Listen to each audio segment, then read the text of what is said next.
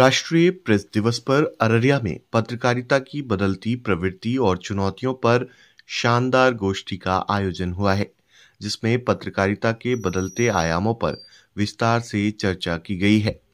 इस कार्यक्रम में प्रभारी जिलाधिकारी सहवर्य अपर समाहर्ता राजमोहन झा मुख्य अतिथि के रूप में शामिल हुए। इसके अलावा प्रेस के प्रतिनिधियों ने भी कार्यक्रम में हिस्सा लिया है।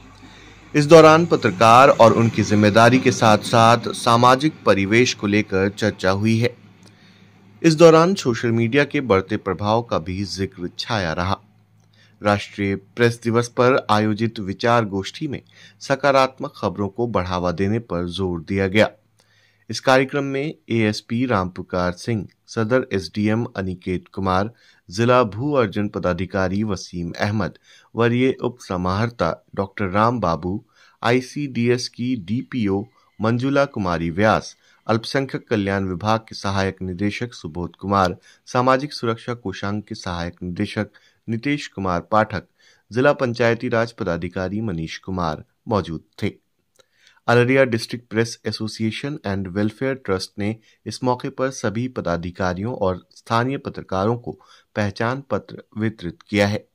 एसोसिएशन के जिला अध्यक्ष राकेश कुमार भगत ने कार्यक्रम की अध्यक्षता की। इस मौके पर वरिष्ठ पत्रकार विष्णुदेव झा, बेदी, अमोद शर्मा, प्रशांत प्राशर, फुलेंद्र मलिक, परवेज आलम, अमरेंद्र कुमार एलपी नायक ने परिचर्चा में हिस्सा लिया।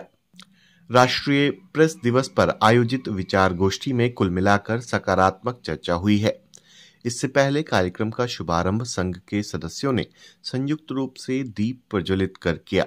वहीं कार्यक्रम का सफल संचालन वरिष्ठ पत्रकार ज्योतिष कुमार झा ने किया। हमारे तमाम छोटे बड़े प्रेस पदाधिकारी, कर्मी हैं।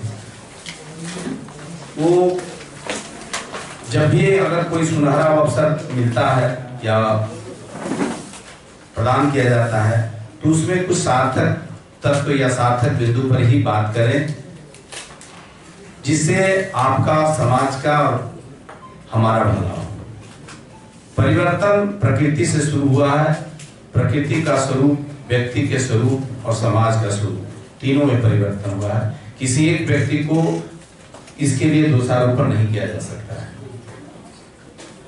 सभी में परिवर्तन हुआ है और वह अर्थव्यवस्था से प्रभावित हो गया है।